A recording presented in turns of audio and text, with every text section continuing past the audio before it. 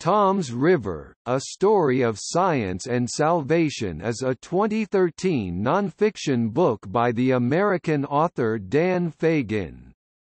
It is about the dumping of industrial pollution by chemical companies in Toms River, New Jersey beginning in 1952 through the 1980s, and the epidemiological investigations of a cancer cluster that subsequently emerged there.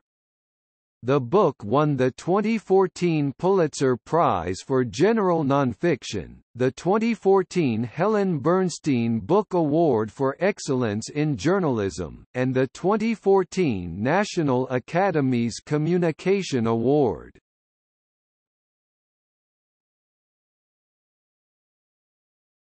Topic: Editions Dan Fagin, March 19, 2013.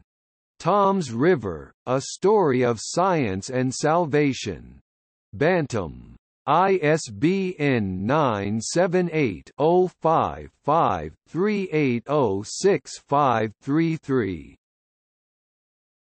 Audiobook narrated by Dan Woren, published by Random House Audio, March 19, 2013 E-book editions